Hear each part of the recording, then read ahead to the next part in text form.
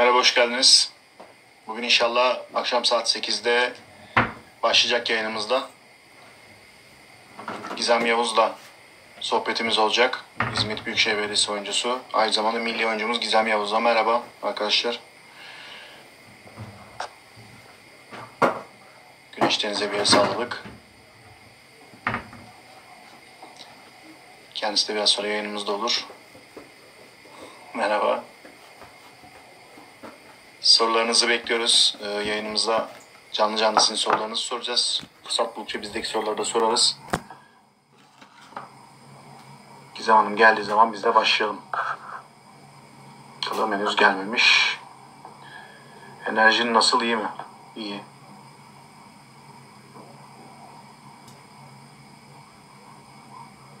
Ezgi Hanım hoş geldiniz.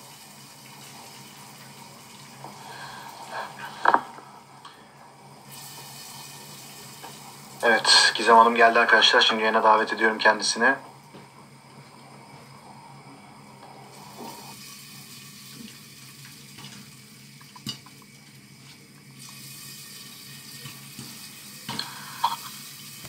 Merhaba. Merhaba. Nasılsınız Gizem Hanım? İyiyim. Siz nasılsınız? Ben de iyiyim. Çok teşekkür ederim. Ee, sizi görmek daha iyi olduk diyelim. Görüyorum ben de sizin canlı sohbetlerinizi oyuncularla. Takip ediyorum biraz da. İşte bakalım. Nasılsınız? iyi misiniz? Nasıl geçiyor karantinanız? Ya karantina iyi geçiyor diyelim yani. e, ben yemek yapmayı bilmiyordum bu zamana kadar. Yemek yapmayı öğrendim. işte onun dışında spor yapıyorum evde. Herkes gibi. E, işte Netflix'e bağımlı olduk. Evet hepimiz. O, kitap okuyorum. İşte bazen bisiklet aldım. Bisikletle dışarı çıkıp turluyorum. Çok bunalırsam. Biraz aktif yaşamayı sevdiğim için Evet. ee, öyle öyle geçiriyorum karantina günlerini. İyi güzel yapıyorsunuz yemeklerden. Daha çok bir şey yapamıyorum. Sebze yemeklerine daha yeni geldim yani. Tamam. Peki formunuzu koruyabildiniz mi? Bu zamanda. Ee, ya benim zaten çalıştığım bir kondisyoner vardı sezon içinde. Ee, onunla devam ettim bir süre daha. Ee, programlar da alıyoruz işte hem takım kondisyonerimizden hem de dışarıdan. Ee, onunla antrenman yapmaya çalışıyoruz. Tabii evde yaptığın antrenmanla bir yere kadar e, koruyabiliyorsun. Vücut ağırlığı ve işte elindeki malzemelere göre kullandığımız için. O yüzden korumaya çalışıyorum yani. Kendi çapımda öyle diyeyim. Dün Barış Hoca ile yaptığımız yayında şey söylemişti Barış Hoca. Ee, yani şimdi hadi bize başla deseler bile bizim hani top başı yapmamızdan sonra ilk maça çıkmaları en aşağı 3,5-4 haftayı bulur demişler oyuncular için. Katılıyor musunuz? Yani normalde zaten e, yani sizin de bildiğiniz gibi sezon öncesi iki ay önce toplanıyoruz biz. Yani öyle bir süreçte hazırlanıyoruz işte e, koşu antrenmanları, fundamental antrenmanları. Hani iki haftalık bir süreç diyorlar. Evet hani iki haftalık bir süreç de hiç yoktan iyidir diyelim. Öyle düşünüyorum.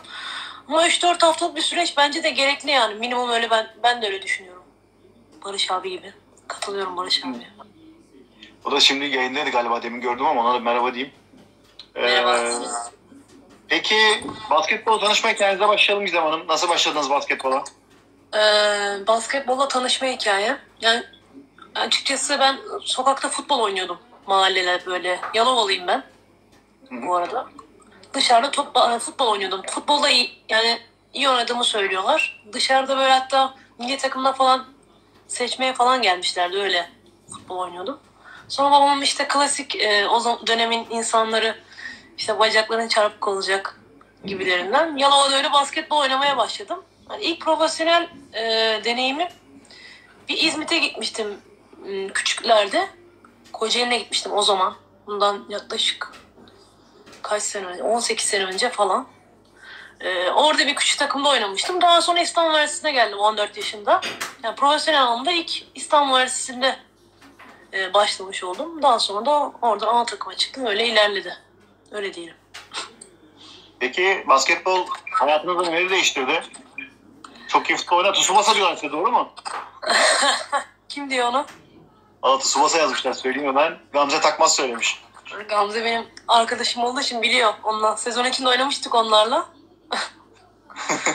Basketbol hayatıma çok şey kattı yani sadece bir şeyle sınırlandıramam onu. Ee, çok erken yaşta hayata atıldım ben. Aslında insanlar e, işte üniversite bitirip hayatına atılıp iş hayatına atılma süreci işte bir 24-25 yaşında bulurken biz ben 14 yaşında buraya geldiğim için ailemden uzak kendime bir hayat kurmaya çalıştım. Ee, hem onu kattı hem işte basketbolda bir bakıma hayat gibi bence. Yani insana işte bir hakem var bazen doğruyu çalıyor bazen yanlış çalıyor. İşte bir antrenörün var patron gibi. Takım arkadaşlarına ekip oyununu e, oynamaya çalışıyorsun. Takım oyunu, takım halinde hareket etmeye çalışıyorsun. Yani birçok şeyi kattı diyebilirim. Erken olgunlaşıyorsun bir kere e, basketbolla erken başlayarak. Yani ki yaşıtlarımıza, kendi yaşıtlarımıza göre iyiyim. Alara Kara şey demiş ama kızmasın üniversitelerde. Karın toklanan üniversite demiş ama takım arkadaşınız galiba. Alara? Kara. Yok, Karın tokluğuna üniversite demiş. Kızmasın üniversiteler ama. yok İstanbul Üniversitesi'nde yetiştik hepimiz. O Evet. dönem öyleydi. Yani altyapı oyuncusu olunca öyle oluyor. Tamam. Melek Yusufoğlu yalnız çok iyi futbol oynar demiş. Evet Melek de biliyor. 4-5 tane gol atmışlığım var Melek'le oynarken. Vallahi Onlar da biliyordur. Futbolla ilgili yazıyorlar. Ece Mert geldi bu arada. Ona da merhaba diyelim. Gördüklerime söylüyorum. Evet. Melek Yusufoğlu diyor ki bu seneki takım arkadaşlar hakkında ne düşünüyor diyor kendisi. Bilerek soruyor onları. Onları onu biliyorum da. Hepsini çok seviyorum bu arada takım arkadaşlarımı. Ama en çok e, işte Gamze, Melek, Ezgi, Emel.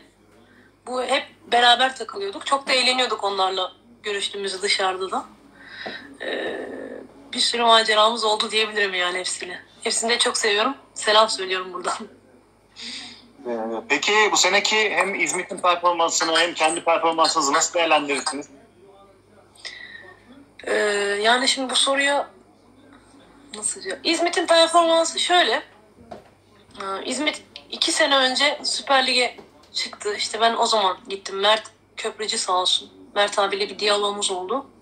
Ee, aklıma yattı onunla çalışmak. O, orayı tercih ettim. Bu seneki e, hedefimiz playoff ilk 8'e kalmaktı. Avrupa Kupası'nda mücadele etmekti. Özellikle belediye başkanımız bunu çok istiyordu. Ee, ondan sonra şunu alttan bir yandan da şeyleri okuyorum da. Evet, evet ben de bakıyorum. Ee, ilk 8'e girmekti. Sezona da kötü başlamadık aslında. Yani e, bence fena başlamadık. Ama işte e, çok e, ilk yarı çok son topta maç kaybettik. Uzatmaya çok maç gitti. İşte evimizdeki ilk Elazığ maçı mesela. Evet.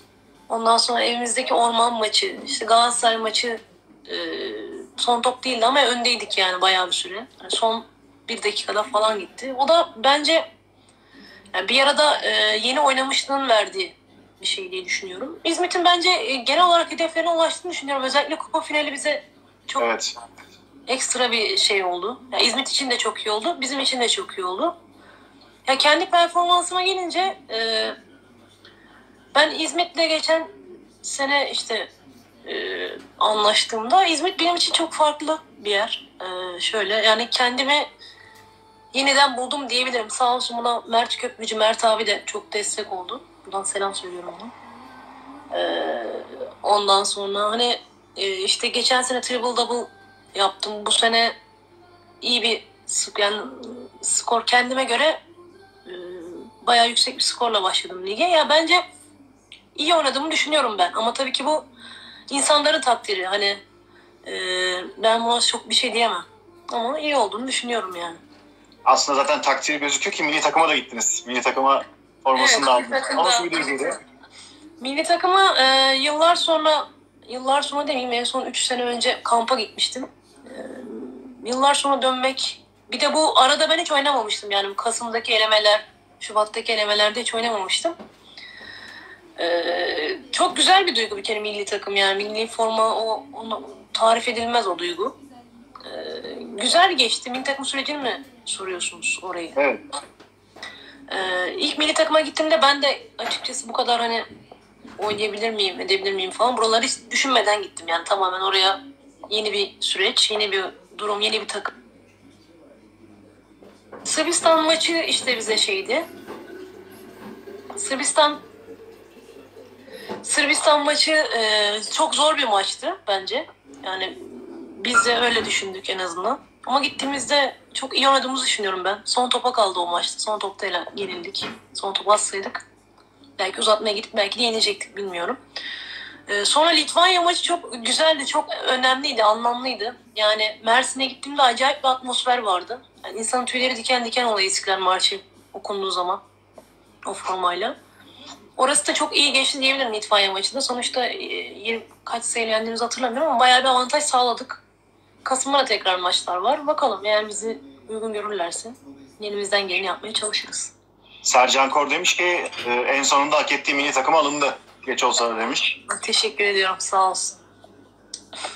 Bakalım. E, atmosfer nasıldı? Milli maçta Mersin'de dedi Sercan. O da maçtaymış.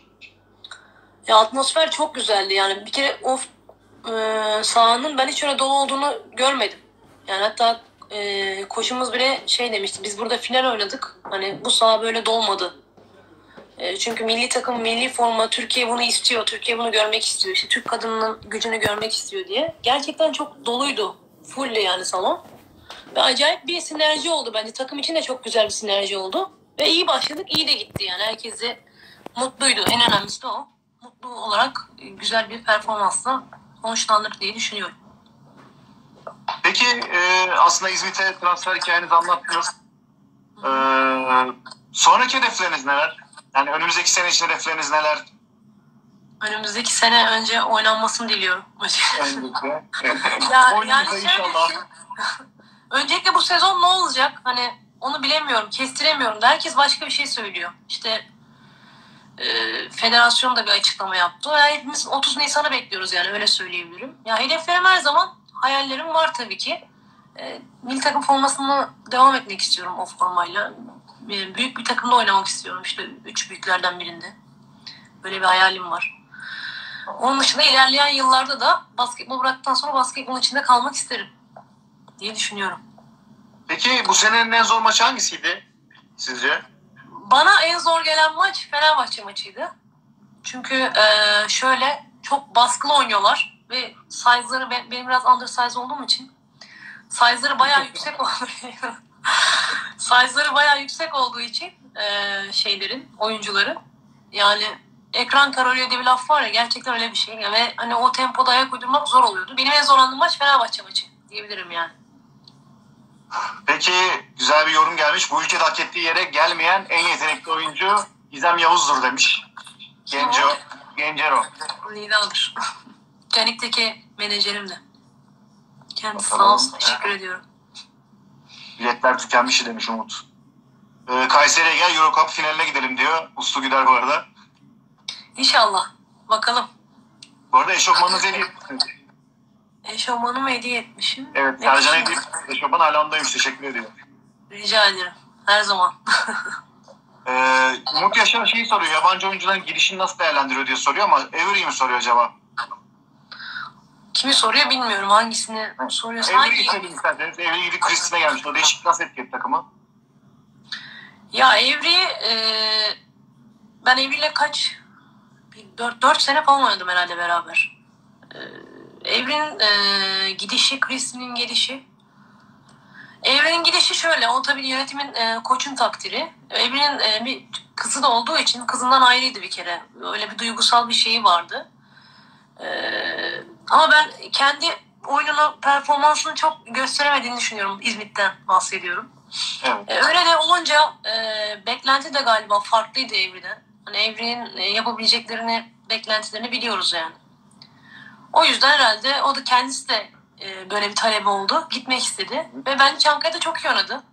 Evet, evet süper Çankaya'da çok daha iyi oynadı. Ve Çankaya'da çok iyi bence. Flash bir takım bence bu senenin. Flash takımlarından olarak görüyorum ben. Ee, Kristin'in gelişi de Kristin tabii çok aslında yetenekli bir oyuncu.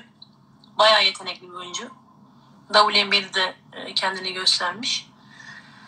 Yani alışmaya çalıştık tabii bir süreç geçti. Yeni koç da geldi biliyorsunuz. O öyle bir süreç var ama e, kötü olduğunu düşünmüyorum. Yani bence e, zaten mm, bütün şeyleri e, e, ne, nasıl diyeyim? Bütün mm, target şeyleri de yani yaptık diye düşünüyorum. Kupa finali İzmit için çok büyük bir e, şey oldu. Sürpriz oldu. Evet. Ee, peki karşılıklı oynadığınız çok büyük bir tecrübeniz var. Karşılıklı oynadığınız en iyi oyuncu hangisiydi? En iyi oyuncu. Ya karşılık oynarken matchup olarak mı yoksa hani böyle yani forvet falan da olabilir mi? İstediğiniz pozisyonu söyleyebilirsiniz. Ya karşı takımda Yani oynayanlar. Diana Torres, Penny Taylor. Hani onlar zaten bayağı iyi. Yani ben Penny'yi de çok Penny bir Diana Torres tabii bunlara hani yorum yapmak da olmaz da. Yani matchup olarak hani guard pozisyonunda olarak Lisa Whalen diyebilirim. Galatasaray'da oynadı bir şeyde Kayseri'de oynadı. Vander Sulut var. Şu an Eka Teremurgun gardı. Onlar en iyi diyebilirim. Ama daha iyi. E, bayağı yordular. Yani beni yormuşlar. Ben on... Evet bayağı yordular yani. Bu arada Avery çok fazla fast food yiyormuş. Doğru mu? Amerikalılar e, yani Avery çok çalışkandı. Bir kere e, şeyde fitness konusunda bayağı dikkat ederdi. Ama Amerikalıların bir yeme tarzı var yani onları değiştiremezsiniz. Yiyorlardı. Bir şey de olmuyor ama onlar yediğinde. Aha güzel bir soru geldi. Geçen sene Galatasaray Beşiktaş maçına TTR'ına daymışsınız. Doğru mu? Ne söylemek istersiniz Evet. zamanımıza göre? Aa. Evet Galatasaraylıyım ben. Maçları Aa. futbolu çok takip ederim evet. Futbolu, Euroleague basketbolu. Futbola özellikle biraz eee futbolu özellikle takip ediyorum. Maçtaydım. Gidiyorum yani fırsatım oldukça gidiyor, gidiyorum maçlara. Futbol Ben sizin basket maçlarında da çok görüyorum. Ataklarda da görüyorum, Ataşehir'de görüyorum. Sürekli maçlardasınız gerçekten. Evet, takip seviyorum basketbolu. Erkek basketbolu özellikle Euroleague'i falan daha çok seviyorum. Ee, basketbolu genel olarak sev- sevdiğim için severek yapıyorum yani işimi öyle diyebilirim. Ee, Sizlere resim çekilmiştik hatırlıyor musunuz? evet hatırlıyorum. Ataşehir'de. Yok şeyde miydi? Akatlarda, akatlarda. Katlar'da. Beşiktaş Elazığ maçı mıydı? Öyle hatırlıyorum ben. Evet aynen. Hı, değil mi? Kırmamışsınız beni. Çok teşekkür ederim. Rica ederiz ne demek. Gencero tekrar şey demiş. En sevdiğiniz şehir, şehir takımı nedir? Gizem Hanım demiş. Trollüyorlar galiba size ama anlamadım. yani evet bence de. Üstüme geliyorlar şu an. galiba biraz trollüyorlar. Dikkat edin. en sevdiğiniz şehir takımı. Ee, İzmit diyebilirim. İzmit. Hı hı. Umut Yaşar Courtney Williams'ı sormuş. Aldığı süre açısından nasıl değerlendiriyor? Çünkü Mersin'deki Çukurova maçına çıkmadı yanlış hatırlamıyorsam diyor. Ya e, şöyle hmm, yani Courtney e, önceki yıllarda Türkiye'de oynadı. Evet. E, daha önce şeyde oynamıştı. Aski'den önce bir Girne'de mi oynamıştı? Girne diye bir takım vardı o zaman. Çukurova haklarını almadan önce. Bence o zaman böyle bir oyuncu değildi. Yani bu böyle oynamıyordu yani. Sonra e, şeye gittiğinde WNBA finali oynadı bu sene biliyorsunuz. E, geldiğinde gerçekten çok skorer, çok atletik bir oyuncu. E, koçumuzun takdiri ben buna bir şey diyemem. Rotasyonu dar oynamak istiyor. Yani 7 kişi 7-8 kişi oynadık biz sonlara doğru özellikle daha çok. Yani tabii diğer oyuncular da oynadı da hani öyle kullanmak istiyor. Courtney de bence iyi bir sezon geçirdi. E, yani devamı gelecektir. WNBA'de diye bir kontrat aldı diye biliyorum ben. Hı hı. Onun devamında getirecektir yani. Bence iyi oynadı ama bu sene. Onun- geç katılması da galiba sizi biraz negatif etkiledi değil mi? Ya tabii onsuz oynadık. İlk iki maçımızı mı onsuz oynadık? İlk iki maçımızı. Adana maçına geldi galiba. Yani şöyle bir şey. Bence kötü yani negatif etkilemiş de olabilir. Bu tabii şey e, muamma. Yani bence kötü değerlendirmedik o iki maçı. Yani olsaydı daha farklı olur muydu bilemiyorum. Ama bence iyi Evet. oynadık iki, iki maçı. Yani rotasyonumuz geniş olduğu için iyi kullanabildiğimizi düşünüyorum. Ha, söylediğiniz gibi aslında Elazığ maçı son topta gitti. Geldiniz orada Ahmet Cömert'te Beşiktaş'ı yendiniz. İkinci uzatmada kolay işler değildi. Evet orada biraz yüreğimiz ağzımız ağzımıza geldi. Siz ama çok şanssızdınız o gün. Çok fazla foul çaldılar. Erkenden çıkmak zorunda kaldınız. Eğer siz çıkmasaydınız oraya gelmeyebilirdi o maç. Ya evet aslında çok iyi başlamıştık o maça. Evet. 17-3 mü öyle bir şey. Daha sonra Tabii, tabii. geldiler. Ee, biz de beklemiyorduk açıkçası. Hani daha rahat bir galibiyet alırız diye bekliyorduk ama hani Beşiktaş hazır olmadığından dolayı kimse yanlış anlamasın. Yani sene başı olduğu için. Ama yani gayet iyi oynadılar. Bizden sonra da yemek kazandılar diye düşünüyorum. Hani 4-0 başlayıp sonra bayağı Beşiktaş da bu arada ben bu sene bayağı beğeniyorum yani favori takımlardan biri. Ee, son 4 sezondur İzmit'te pota altını e, çok iyi kullanamıyoruz. Sebebi nedir demiş Ömer Çelik. Katılıyor musunuz? Ya ben 4 sezon olmadığım için bilemiyorum hani e, şey 2 sezon. sezon. Yani ben öyle düşünmüyorum ya. Pota altını çok iyi kullanamıyorsunuz gibi düşünmüyorum. Yani takımlara bağlı tabii bu. Şimdi geçen seneki takımda tam bir 5 numaramız yoktu. Bu sene yani bu seneden bahsetmiyorum. Bir önceki seneden bahsediyorum. Tam bir 5 numaramız yoktu. E, koç da 4 dış 5 dış oynamayı seven bir koçtu. E, öyle olunca çok da pot altını çok fazla kullanamıyorsun. Ama bu sene ben öyle olduğunu düşünmüyorum. Kristin özellikle top indikten sonra bayağı aktif kullandığımızı düşünüyorum yani. Bilim makine bir şey sormuş ama yani sormamış olmamak için söyleyeyim. BJK maçında yapılan tezahürat hakkında ne düşünüyorsunuz? Bir Galatasaraylı olarak. Ben de maçladım bu arada. Beşiktaş yani şey İzmir Beşiktaş maçındaydım. Yani biraz böyle eee heyecanlandılar olabilir. Güzel de bir maç. Çok e- inanılmaz güzel bir maçtı. Kupa maçını mı söylüyorsunuz? Yok hayır lig maçı vardı ya son eee, sizin sahanızdaki maçta. Biraz Beşiktaş tribünlerinde Evet evet. biraz Ya yaramazlık yaptılar diyelim. Ya o böyle şeylerin olmasını görme- görmek istemiyoruz tabii sporcu olarak biz de ama sonuçta bu işin içinde var. Ama bizim e, gerçekten İzmit'teki maçlar çok full oluyor bu arada. Hani Fener, üç büyükler özellikle bayağı e, şey oluyor. Dolu oluyor salon. Ha, görmek istemediğimiz e, durumlar ama görüyoruz. Yani Türkiye'de, e, dünyada bu var. Ee, aslında, e, aslına bakarsanız ben Adana maçına geldim. Adana maçına bayağı doluydu. Ben iki maçınıza Evet, geldim. bu sene. İzmit, İzmit'te öyle bir şey var. Acayip bir seyirci kitlemiz var yani. Full oluyor salon. Ee, çok da güzel oluyor bence. Yani tüm Türkiye'de keşke böyle olsa. Diğer takımlarda da.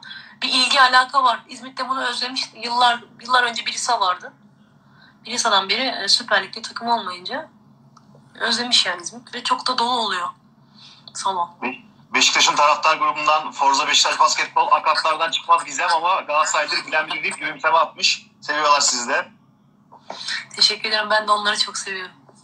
Basketboldan sonra ne yapmayı düşünüyorsunuz diye sormuş. Gene bir troll soru olabilir yalnız. Gene aynı kişi soruyor. Söyleyeyim. Gencer de soruyor. Evet, basketboldan sonra e, yani basketbolun içinde kalmak istiyorum. Tabii ondan önce hani bir evlenirsem bir ara verebileceğim bir dönem olabilir. Düşünüyor musunuz? Düşünüyorum. Ara vermeyi. Yani şöyle bir şey ara vermek değil hani evlenip bırakıp basketbolla bir ara vermek. Yani bir çocuk sahibi olursam eğer. İnşallah. Allah nasip ederse. İnşallah.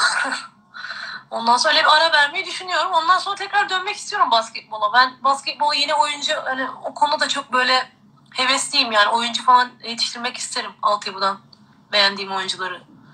Basketbola bir katkım olsun isterim. Öyle düşünüyorum. Melis Gürcan ablam saygılar demiş size bu arada. Melis'ciğim öpüyorum seni.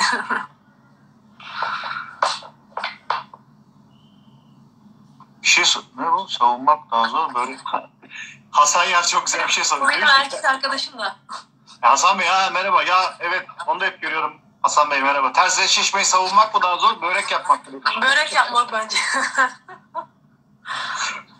Tamam.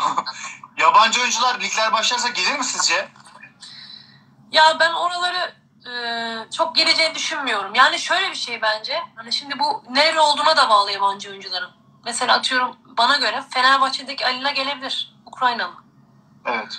E, şartlara da bağlı tabii. E, yani özel uçakla geliyorsa gelir herhalde. Öyle düşünüyorum. Bir de uçuşların açılması lazım.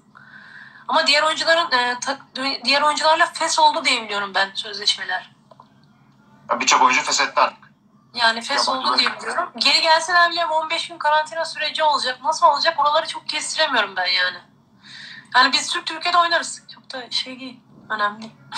Biz onu konuşmuştuk. Ee, Hem Barış Hoca ile konuştuk hem Erdem Hoca ile konuştuk. Keşke dedik öyle bir rüya bir sezon olsa. Çünkü gerçekten Yani- çok değerli oyuncular var. TKB'de oynayan inanılmaz değerli oyuncular da var. Hani Evet. Süper Lig bir sene Türklerle oynansak keşke. Yani aslında Türk oyuncular için de bir fırsat ben öyle düşünüyorum olur. Ee, sonuçta bir özgüveni yerine gelmesi için de önemli bir şey olur. Ya ben oynamak oynamak isterim öyle. Biz avantajlı olabiliriz Türk Türkiye yani İzmit olarak. evet doğru.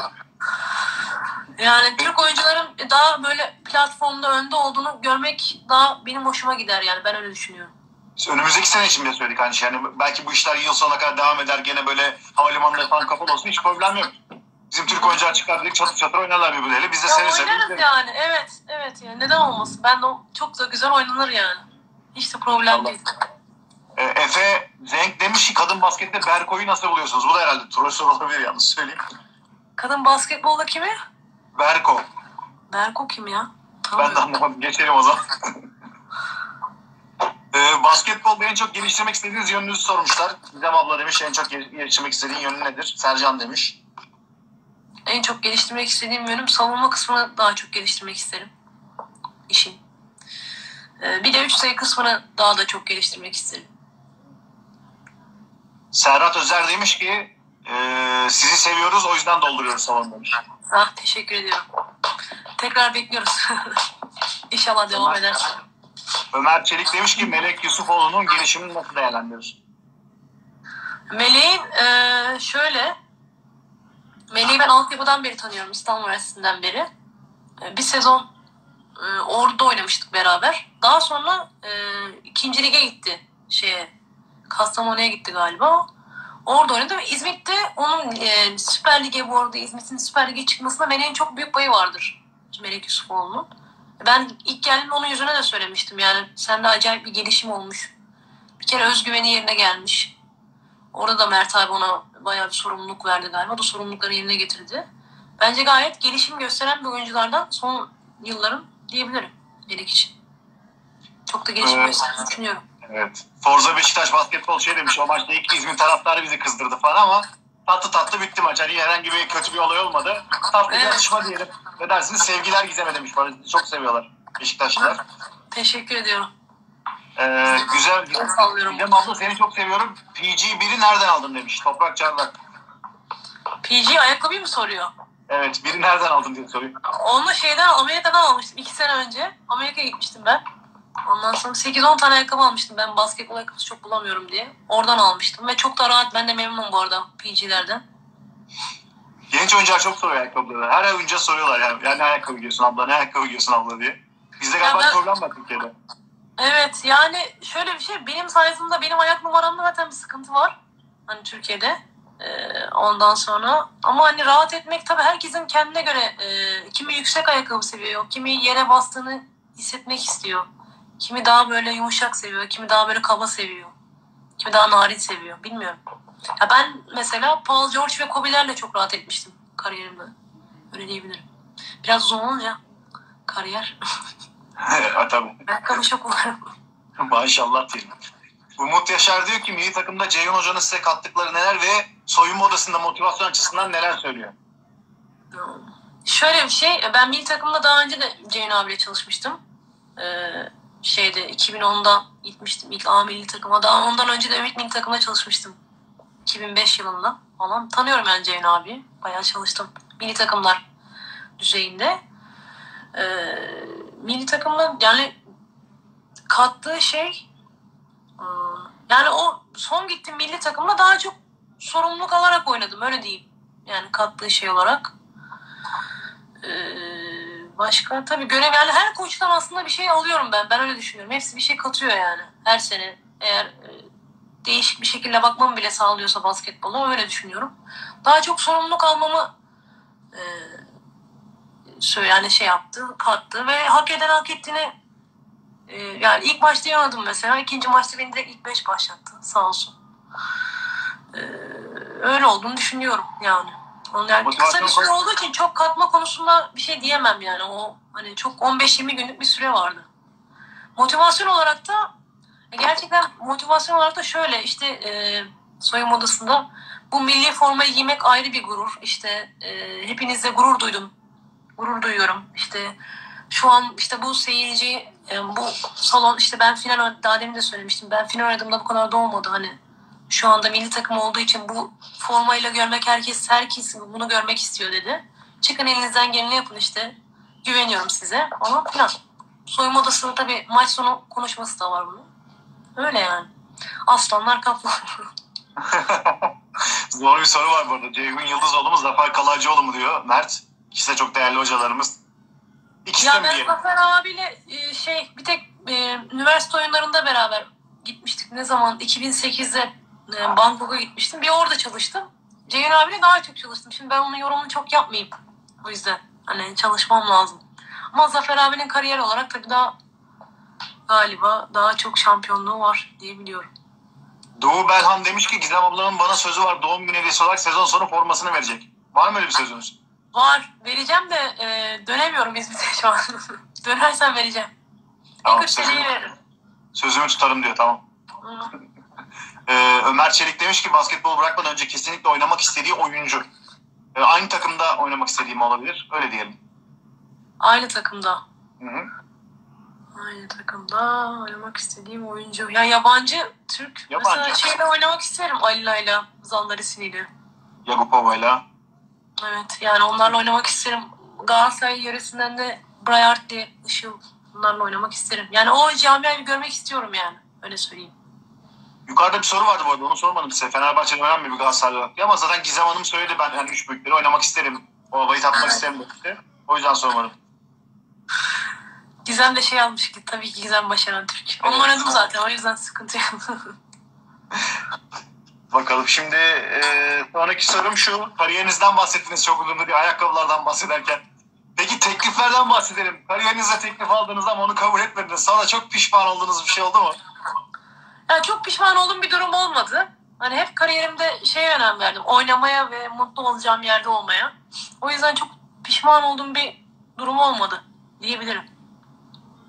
Ama e, tabii herkesin ders aldığı şeyler var bazı konularda. Anladım. Peki e, basketboldan kazandığınız ilk parayla ne aldınız hatırlıyor musunuz? Hatırlam yani eve götürmüşümdür, annemlere vermişimdir yani. Ne aldığımı hatırlamıyorum. Kaç sene önceydi? 18 sene falan oldu yani. 17-18 sene mi? Öyle bir şey. İlk büyük Hatırlamıyorum. parayla ne aldınız peki? İlk büyük Ha, büyük, mı? büyük parayla. Hani mesela ilk aldığınız bir araba büyük almıştım galiba. Evet, araba almıştım. Güle güle kullanın o zaman. Ha, sattım sonra. Şu an yok zaten. Peki e, siz sahada ciddi bir tecrübenin haricinde siz saha dışında da sürekli maçları seyrediyorsunuz. Ben dediğim gibi ben sizi 4-5 defa gördüm sadece. 3 salonda da gördüm İstanbul'daki.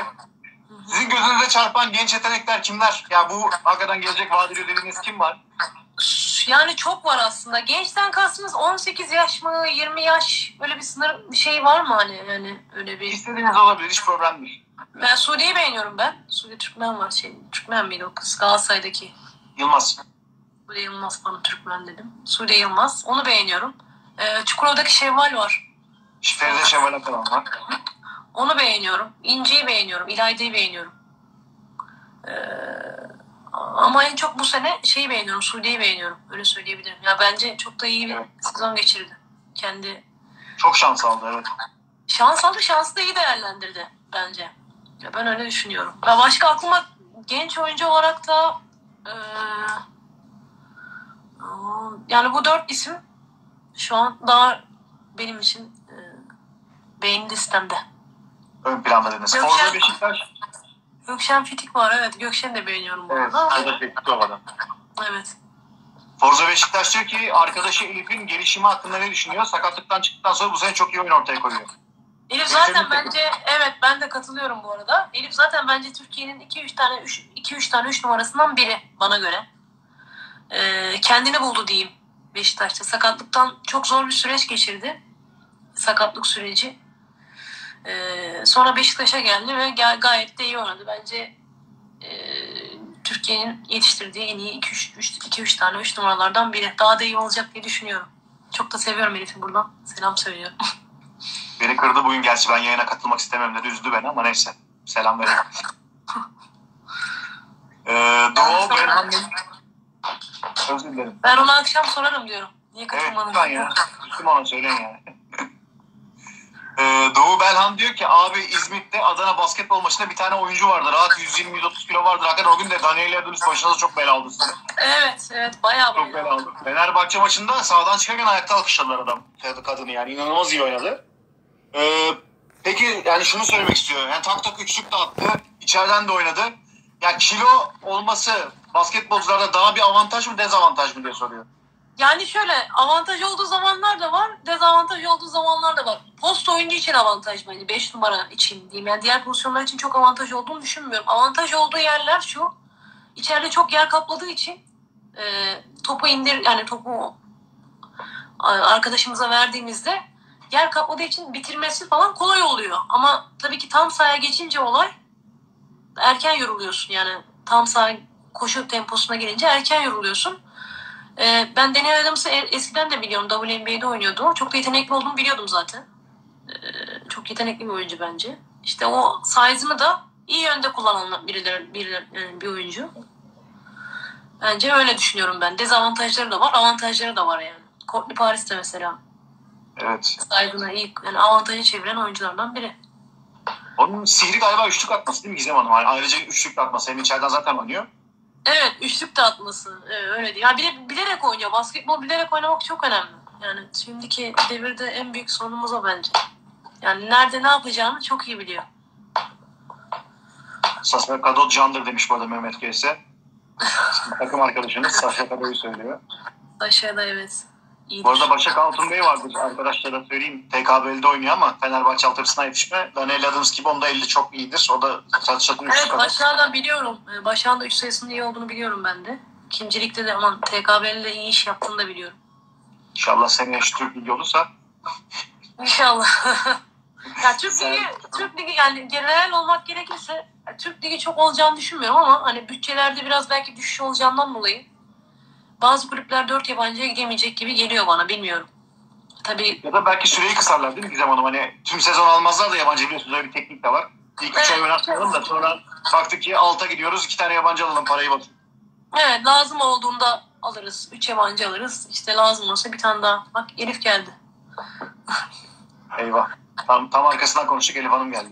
Evet, iyi Ben konuştum ben de siz beceremediniz ben konuştum. Kariyerinizdeki kırılma anını sormuş Sercan. Ya kırılma anları e, iyi yönde de var, kötü yönde de var bence. Hmm, şöyle, iyi yöndekiler e, kırılma anı. Ya bence bizim 2007'de Avrupa dördüncülüğümüz var Milli Takım olarak. 80-88 jenerasyonu bu. E, şu an herkes onun ekmeğini yiyen oyuncular var hala. Yani ilk hatta Avrupa'da ilk derece gibi. Hani şöyle söyleyeyim yani ilk dörde giren tek takım bizdik galiba o zaman. O zamandan bahsediyorum dördüncü olup eee Kayseri'den bir ayrılış sürecim var benim ikinci yıl. Evet. Orada bence bir kötü anlamda bir kırılma anı oldu ama bence İzmit'te ben e, tekrar da iyi anlamda tekrar çıkış anlamında İzmit'te de kendimi e, daha iyi buldum, daha bulduğumu düşünüyorum. Öyle diyelim. Ayşegül Şafak çok güzel bir soru sormuş. Seyircisiz oynadığınız en son maçta ne hissettiniz demiş. Nasıl hissettiniz? Nasıl hissettirdi?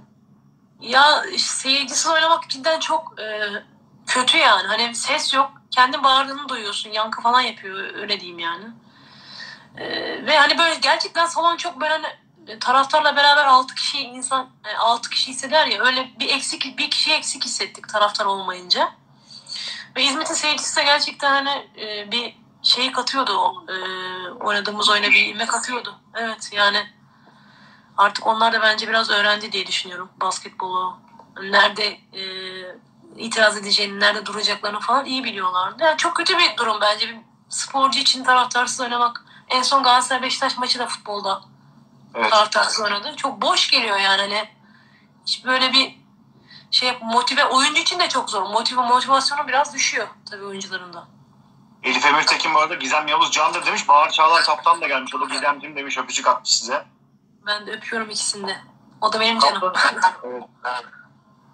Takımın en çalışkan ve en az çalışan demiş. Normalde tembel diye söylüyorum Sercan. Ben kızdım onu düzeltti. En çalışkan ve biraz daha böyle az çalışan kaytaranı kim? ya onlara yorum yapmasam şimdi hepsi arkadaşım şey olmasın. Tamam geçeriz. Tamam o. En, en çalışkan yani çalışkan onlara ben yorum yapmayayım ya şimdi şey olmasın. Tamam en, geçelim. en, en tembeli şey diyeyim. Kim? Yabancı. Yabancı yok ya şu an. Onların arkasından konuşabilirim. Aynen aynen. Direkt Monika'dır ya. Boş ver. Öyle bir şey olabilir. Tamam. Forza bu arada Beşiktaş burada. Kaptanını gördü hemen merhaba dedi. Elif Emir Tekin de atmış. Elif Hanım size yayına bir daha davet ediyoruz lütfen. ne diyelim. Ee, peki Aa bir soru daha var ama sorayım mı şimdi? Öyle bir şey söylediniz ki onu da sormaya Sor, korktum. sor. En sevdiğiniz takım arkadaşınız kim? En sevdiğim takım arkadaşım Gamze Takmaz. Ee, onunla aramız iyiydi yani. Onunla bayağı bir paylaşımımız oldu bu sene. Kötü zamanımızda, iyi zamanımızda hep o yanımdaydı. Sağ olsun. Teşekkür, teşekkür ediyorum buradan da ona. Bircan'la aram çok iyiydi en başında, sene başında. Bircan'ı da eski tanıyorum. Bircan Gökdemir. Bircan ben Gamze zaten üçümüzün arası çok iyiydi. Sonra Bircan ayrılınca işte Gamze'yle kaldık. Ma- maalesef falan dermiş. Kızmasın da. Ee, yani Gamze en, en iyi anlaştığım o takım arkadaşım Gamze. Ee, ama Meleği falan yani hepsini çok seviyorum. Yani Meleği zaten eskiden tanıyorum. O da burada Ezgi'yi, bebeğim dedi arada. Mele. Evet, teşekkür ederim. Öyle diyebilirim. Sağ olsun çok kötü zamanımızda yanımız zamanında yanımda oldu yani. Ben de onun olmaya çalıştım. Bu arada Ali Çelik 41 demiş. Takımın en kaytarını yabancı oyuncular maç öncesinde hiç ısınmıyorlar diyor. Size destek vermiş o da. Teşekkür ederim. Peki e, kariyeriniz çok uzun tabii. E, yaşadığınız en ağır sakatlık nasıldı? Nasıl bir süreçle atlattınız? Yani çok şükür diyeyim hiç büyük bir sakatlığım olmadı. Maşallah. Maşallah diyelim. Ya bilmiyorum bundan sonra ne olur. Yani şöyle bir şey, e, biraz şans tabii de ben mesela her yaz e, mesela benim bir rutinim var. İşte sezon bittikten sonra bir 15-20 gün bir şey yapmıyorum. Sonra bir kondisyonerim var, özel kondisyonerim. Onlayım yani. Her sene böyle benim yazları. Bir takıma gitmezsem eğer. E, Kendine de çalışınca bakınca biraz da şans diyelim. Yani şans da bu işin biraz da genetik özellikler var herhalde. Büyük bir sakatlığım olmadı. Sadece bir sakatlığım var. Bileğimden e, bilek burkulmasından bileğimdeki bağlar biraz sıkıntılı. Ama o da hani bir büyük bir sakatlık değil. Çok şükür diyelim. Ömer Çelik bir şey soruyor ama üçüncü defa sordu. Kırmayalım onu da sorayım. İçerideki maçlı, büyük maçların neden son topa kaldığını sorabilir miyim diyor. Neden son topa kaldığını. İçerideki Yani, büyük maçlar. Fenerbahçe Galatasaray onları söylüyor galiba ama. yani neden diye ya sonuçta rakip de çok iyi bir rakip. Son topa kalması bence güzel bir şey. Son topu neden kullanamıyorsun dese daha güzel bir soru. Ee, olabilirdi. Yani son topa neden son topa kalıyor? O anki konsantrasyon. İşte rakibin de zaten çok iyi. Yani sonuçta büyük bir takım. Ee, konsantrasyonla alakalı diyelim. Yani ya da koçun istediklerini o anda yerine getiremiyoruz galiba. Öyle öyle oluyor. Yani çok son son maç son topla çok maç kaybettik bu sene. Sadece büyük maçlar değil yani. Şu an biz dördüncü bile üçüncü bile olabilirdik yani o maçları kaybetmesek belki. Ama sonuçta hedeflediğimiz yerdeyiz. Ben öyle düşünüyorum. Ayşegül Şafak demiş ki Gizem abla kupa maçı dönüşünde arabadaki çiçeği aldın mı? Aldım herhalde öyle düşünüyorum. Hatırlamıyorum ya ben de öyle çok e, hat- çiçeği almışımdır ama kimseye öyle bir şey yapmam yani reddetmem geri çevirmem öyle diyeyim. Sercan Kor demiş ki evcil hayvan besliyor mu Gizem abla? Yok beslemiyorum çünkü hayvana yazık olmasın diye. Aa, Biraz ben biraz ben gezmeyi seven bir insanım. Yani biraz takip ediyorsanız. Evet, at evet. taşımayı seviyorum yani. O yüzden hayvana alıp da bakamayıp geri ver, vermek istemem. Yapmam zaten öyle bir şey. O yüzden hani kendimi daha böyle e, sabit yaşa- yaşamaya alıştığım zamanlarda al- öyle bir niyetim var. Bir evcil hayvan niyetim var yani. Ama şu an hayvana da yazık. Zor olur. Peki bu arada Beşiktaş forması giymek ister mi diye sorar. Onu en başta da zaten Hanım cevapladı. Tabii ki isterim diye. Üç, üç büyük takımda oynamak isterim diye. Hilal Bayraktar gelmiş bu arada sallıyor. Ona da merhaba diyorum. Ee, Fatma Başkan'la aranız nasıl diye sormuş. Ulaş 41. Gayet iyiydi Fatma Başkanımızla. Ee, o da yakın takipçimiz zaten maçları yakından takip ediyordu. Bir de bir bir kadının böyle e, bu platformda olması beni ayrıca, ayrıca bir bayan olarak çok da mutlu ediyor. Ee, çok destek oluyordu. Yani çoğu maçımıza gelmeye çalıştı diye Fatma Başkanımız. Sağ olsun güzel de oldu yani reklam reklam reklam olayı da iyi oldu. Hani İzmit için de güzel bir reklam oldu. Onun için de çok güzel bir e, durum oldu. İlk senesinde sonuçta İzmit final oynadı yani. Çok güzel bir sonuç diye düşünüyorum. Onun için de sağ olsun. Buradan tekrar kendisine teşekkür ediyorum. Ee, başkanım benim de bir ricam olacak. Şu koltuklara bir yer atın ne olur oradaki. Ee, o salonun biraz tadilat evet. o salonun öyle bir tadilata biraz ihtiyacı var. Doğru söylüyorsunuz. Başkanım ne olur yer atın. Vallahi ben zor sığdım. Allah'tan biraz kilo verdik de ameliyat olduk. Ama yani onu bir çözerseniz süper olur. fark ettim onu.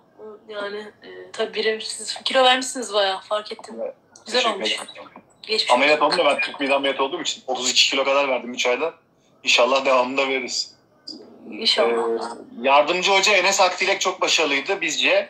Maç öncesinde sizle özel ilgileniyormuş galiba. Sizi ısıtıyormuş. Hani onunla ilgili yorumunuzu rica etmişler. Evet Enes, e, Enes'le çok iyi bir sürecimiz oldu iki senedir. E, sağ olsun o da e, birebir de personal'da bir kere Enes çok iyi bir antrenör. Personal trainer olarak. Yani fundamental bilgisi çok iyi Enes'in. Ben de onun onun e, o bilgisini değerlendirmeye çalışıyordum diyelim. Yani her e, ısınmadan önce onda bir ısınmam var benim. Rutin dribbling ısınmam var. Sağ olsun bana çok katkısı oldu. e, İzmit'te oynadığım sürece. E, onun dışında antrenmanlardan önce de onunla birebir böyle fundamental olsun, bitirişler olsun, turnikeler işte, floaterlar falan onları beraber çalışıyorduk. Ona da buradan teşekkür ediyorum. Öpüyorum onu. Sercan Kor demiş ki Gizem abla idolün var mı? İdolüm değil. Yani idol öyle idolüm olmadı ama çok beğendiğim oyuncular vardı tabii. Hani böyle kendi pozisyonumda. Böyle bir idol hani şey mi? Erkek takım NBA falan mı? Ya da kadın nasıl hani bu arası? Erkek de olabilir, kadın da olabilir. Sonuçta idolünüz Yani- olabilir. İdol değil de çok beğendim. Mesela Stephen Curry'i herkes gibi ben de beğeniyorum yani. Ee, işte Euroleague'de çok erkeklerde Euroleague'de çok beğendiğim oyuncular var guard pozisyonunda. Ee, Rodriguez'i bir ara çok beğeniyorum. Sergio Lul. Larkin'i zaten herkes Shane Larkin. Beğeniyordur yani evet Shane Larkin'i. Ee, Efes'in de tabii o Misic. Yani çok var. İdol demeyeyim de çok beğendiğim, takip ettiğim oyuncular var. Seviyorum yani. Umut Yaşar güzel bir soru sormuş. Gizem abla sizi hangi koç keşfetti demiş. Bir de çalıştığınız koçlardan iz bırakanları da ekleyeyim ben buna. Onları da söylerseniz. Beni, beni Alper Durur yetiştirdi. Ona da teşekkür ediyorum. Sağ olsun. Ee, baba kız gibi bir ilişkiniz var hala. Ee, Alper Durur keşfetti. İz bırakanlar olarak da Alper abiyi söyleyebilirim yani. Alper abi sağ olsun benim oyuncu olmamda ee, çok büyük katkısı vardır. Yani hepsinin var yani. Bütün- Çalıştım bütün koçların emeği. Yani hepsiyle çalıştım ligdeki öyle söyleyeyim. Yani çalışmadım azdır. Ee, Herhalde. Düşünüyorum da hepsiyle çalıştım. Ya Ayhan Avcı'yı beğeniyorum bu arada koç olarak çok. Evet. Ondan sonra hepsinde iz bıraktı yani Fırat Okul var Fırat abi. Şu anki O da sağ olsun. O da evet o da sağ olsun. Çok emek verdi. Kariyerimde. Hepsinin ayrı ayrı emeği var ama Alper Duru benim için çok farklıdır yani. Öyle değil. Peki e, en sevdiğiniz yemek hangisi diyelim? Biraz. En sevdiğim yemek annemin içli köfte. Annem Adanalı benim. Aa, Ee, ne evet. güzel yapar. Annemin içli köftesi diyebilirim yani. en sevdiğim yemek bu. Peki en sevdiğiniz film ve dizileri sorsak? En sevdiğim film ya Yeşil Yol diyeceğim de çok klasik olacak galiba. Ee, Yok, e, yani geçen gün mesela izlememiştim. Esaretin Bedeli'ni izledim. Onu da çok beğendim. Ee, şey dizi olarak bu şu dönemde La Casa de Papel'i çok izledim. Beğeniyorum. İşte dizi olarak da Prison Break var. Onu beğenmiştim yani yıllar önce etki, etki bırakan dizilerden. Bu kadar. Şimdi. Onun yenisini izlediniz mi yeni sezonunu? Yenileri Yeni çıkıyor. sezonu bitirdim. İki, iki günde bitirdim herhalde 10 bölümü. Evde de çok yapacak bir şey olmayınca bitiriyorsun tabii. Allah inşallah diyelim. Peki e, lakabınız var mı Gizem Hanım? Ha, bana lakabım yok da Gizmo ya da Giz derler. Giz diyorlar genelde. Kısa olduğu için herhalde. Daha kısa olduğu için. Öyle çok bir lakabım öyle bir yani şeyim yok. Ama ya Gizmo diyorlar ya Giz diyorlar. Değişiyor insanına göre. Peki Sercan demiş ki Gizem abla bana bir kitap öner vallahi okuyacağım diyor. Söz veriyorum diyor. Aa, kitap konusunda bana e, çok şey yapmasın. Ben çok kitap okumayı yani okuyamıyorum yani öyle söyleyeyim ama okudum. Tavsiye edeceğim kitap Zülfü Livaneli'nin kitaplarından olabilir. Hatırlamıyorum şu an ismini. ama onun bütün kitaplarını seviyordum. Öyle değil. E, dövmeniz var mı? Sormuş muydum ben? Sormadın değil mi? Dövmem var. Ee, şöyle kolumda ailemin bütün baş harfleri yazıyor. İşte annemin, babamın, ablamın. Bir de kolumda şey var. e, dünya haritası Dünya resmi var. İyi değilsin pardon. E, gezginler dövmesi bu. Gezmeyi çok sevdiğim için kendimle alakalı en mantıklı şey bu geldi bana. Bunu yaptırdım. Valla sizin hakikaten Instagram sayfanızı takip etsinler. Görmedikleri yer kalmaz zaten. Yani inanılmaz geziyorsunuz. Yani işte gezmeye çalışıyoruz. Yani çok seviyorum. Benim en çok zevk aldığım, keyif aldığım e, hayatımdaki şey o. Gezmek yani. Çok da... Peki bir fobiniz var mı? Fobim yok. Yani çok öyle bir şeyden fobim yok yani yok diyebilirim. Gün Güneş Deniz Karaoğlan vardı saat 6'da konumuz. O da gülmekten öldürdü. Yani palyaçolardan korkuyormuş. Fobisi çok Ben enteresan. Aksaray'da büyüdüğüm için çok büyük fobim olacağını düşünmüyorum yani. Anladım tamam. yok öyle bir Peki. fobim yok yani. Peki takımın staffları hakkında onları unutuyorum ben genelde. Bana çok kızıyorlar. Emekçiler hakkında kimler var? Bir bahseder misiniz? Neyi hakkında anlamadım bir daha sorarsınız. Stafflar. Takımdaki stafflar hakkında. Yani hangi takımda, kendi takımındaki en son staff hakkında. Hepsi yani Fırat abi. Yani, Masörün ne düşünüyordum? Şeyleriniz hani böyle daha aşağılara doğru. Tanımadıklarınız. Ha tanımadıklarımız. Ne diyeyim ben soruyu tam anlamadım ya. Özür dilerim. Ee, estağfurullah. Şimdi takımımızda hani masörler falan var ya, antrenörler, bizim Fırat Hoca'yı falan tanıyoruz ama onları tanımıyoruz. Hani kimler var? Bireysel belki şey mental hocalar. Ha bireyselliğiyle Adil abi vardı masör. İzmit'in Tamam. yerlisidir o. İşte sonra Gül geldi. İşte o da masör. Mental olarak e, ya benim çalıştığım kondisyonörüm var kendi bireysel. Turgay abi var. Turgay Aslan Yürek. Galatasaray'ın voleybol kondisyonörü aynı zamanda. Takımda başka e, başka da kimse yok. Geçen sene bir tane kondisyonörümüz vardı. O iyiydi sağ olsun. Cihan diye bir arkadaşımız vardı. Yezdan abi vardı. İşte o okulda hocaydı. Kocaeli Üniversitesi'nde çok da iyi bir kondisyoner. Geçen seneydi o da. Onlar var. Şu an diyebileceğim onlar. En son Peki. Sizi örnek alacak olan genç oyunculara e, son sorum. Tavsiyeleriniz neler olacak? Ee, tavsiyelerim şu. Bir kere e, çok çalışmalı. Bu ilk. Tabii ki herkesin söylediği bir çok klişe bir laf ama bence ikincisi biraz hedef koymaları lazım. Yani e, kariyerleriyle al- alakalı hem hedef koymaları lazım hem de bir planlama yapmaları lazım. Bence. Yani ben öyle düşünüyorum. Tabii ki hayat planladığınız gibi gitmez her zaman ama bir kariyer hedefi olması lazım. Ee, ve çok yani gerçekten kendine kişisel, bireysel olarak çalışması lazım. Yani bu atıyorum bir kondisyoner olur, bir mental bir destek olur. Bir işte eee, şey olur, fundamental olur, basketbolla alakalı olur ama tamamen eee, kendine bakmayla ve eee, kişisel gelişimle de çok alakalı olduğunu düşünüyorum. Her anlamda. Sizin eklemek istediğiniz bir şeyler var.